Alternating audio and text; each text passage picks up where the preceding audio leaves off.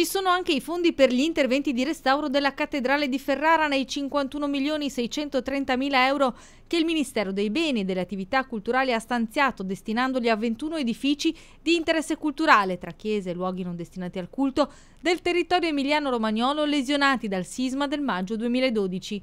Oggi è arrivato il via libera dalla Corte dei Conti per il programma di interventi del Ministero.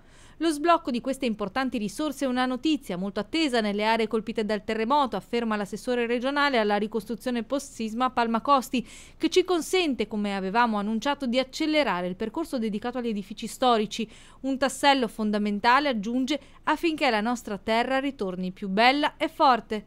Nel Ferrarese sono previsti sette interventi per un totale di 15 milioni 550 mila euro. A Ferrara. Saranno sulla Basilica Cattedrale di San Giorgio Martire 7 milioni e 700 mila euro, le chiese di Santa Pollonia 800 mila euro, quella di San Francesco 2 milioni e 300 mila euro, quella dei Santi Giuseppe Tecla e Rita 500 mila euro. E Casa Minerbi con un intervento da 200 mila euro.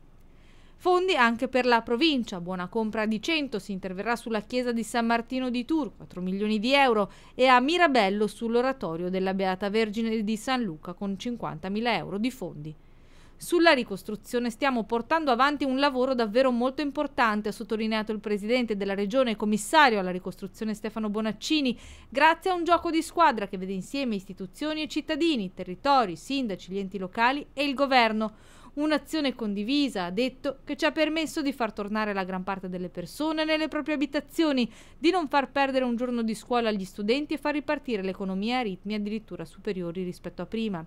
E ora, con il via libera a questi 51,6 milioni di euro, daremo, ha concluso, ancora più forza all'azione di recupero del patrimonio storico e architettonico dei nostri luoghi.